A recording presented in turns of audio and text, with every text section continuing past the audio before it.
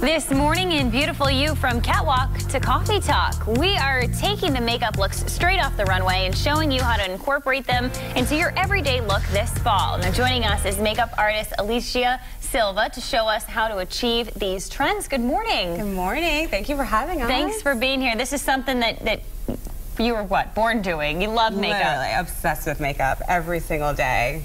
Just shopping and checking out the newest trends and trying new colors. It's my favorite thing in the world to do. It it's exciting for a lot of women too because it's kind of like a you know blank canvas mm -hmm. your face. So I know we like to try and play around with different looks, but sometimes it's really hard to achieve these runway styles at home. It is. It can be a little difficult and also it doesn't always necessarily fit into where you're going. You know, mm -hmm. you're mm-hmm. not going to wear a huge blown out smoky eye to work or like a huge you know, glitter liner to Whole Foods. I mean, sometimes I do, but I know most women don't. Yeah, it's not the everyday look. So you're going right. to take us through three different looks and yeah. how we can uh, make them work mm -hmm. for our everyday life. Let's start Definitely. with our first model. Who do we have here? So this is the gorgeous Olivia. And so what we did with her was really simple. It's kind of a minimalist look. What we saw a lot on the runway was these gorgeous plum colors mm -hmm. and kind of a monochromatic look.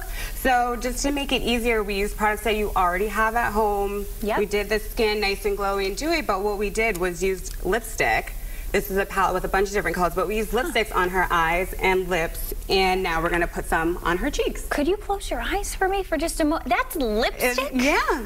Wow. Yeah, I'm we, impressed. You don't think, you know, it says lip right in the name. Right. You think that's where I need to apply it. No, yeah, it's super convenient, easy mm -hmm. for mm-hmm. travel. So I'm just taking a nice little synthetic brush here. I'm going to tap off the excess so there's not too much on her skin. Great And tip. then we're just going to do little swirls to buff it in and mix it right in mm -hmm. with the mm-hmm. other products that we have on our face.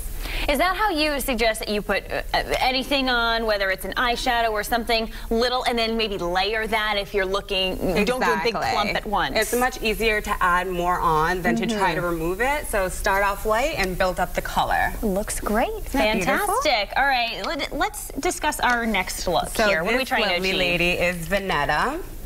And what we did with her was kind of similar, just a glowy, glowy skin, mm -hmm. little contour, and a little bit more brighter color on the lips.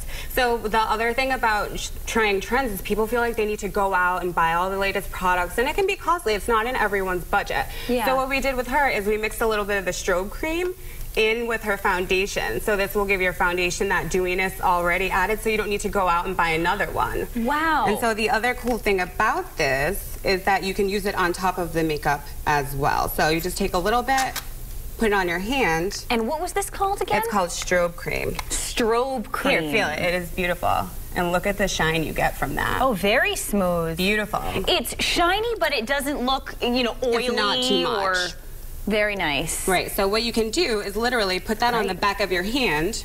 Mm-hmm. Stamp it. And then you can go ahead and literally stamp it on the cheek.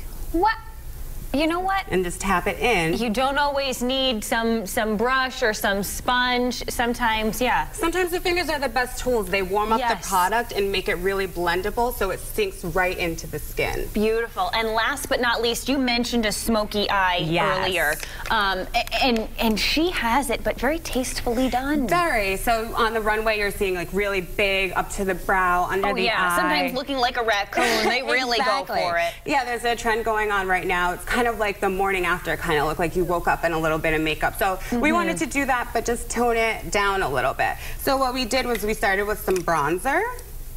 And so we went ahead and just applied a nice neutral bronzer on the face but then we also used a smaller brush and put it into the crease of the eye. Mm -hmm. So that gives you a nice little warmness there. And then you just use your regular eyeliner, smudge it on, and rub it in with your finger to blend it out. Super, super easy.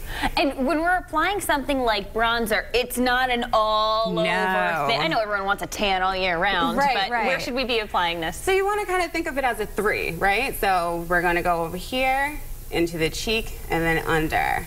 And then whatever's left over on the brush, you can blend so there's not any harsh lines, but you yes. definitely, it's not an all over. We're trying to avoid being an Oompa Loompa. Oh, yeah, nobody right? wants that look, but you definitely want these. Thank you so much. Thank Ladies, you, you look lovely. For a link to the products that we used here so you can achieve the looks at home, head on over to Rhodeshow.com.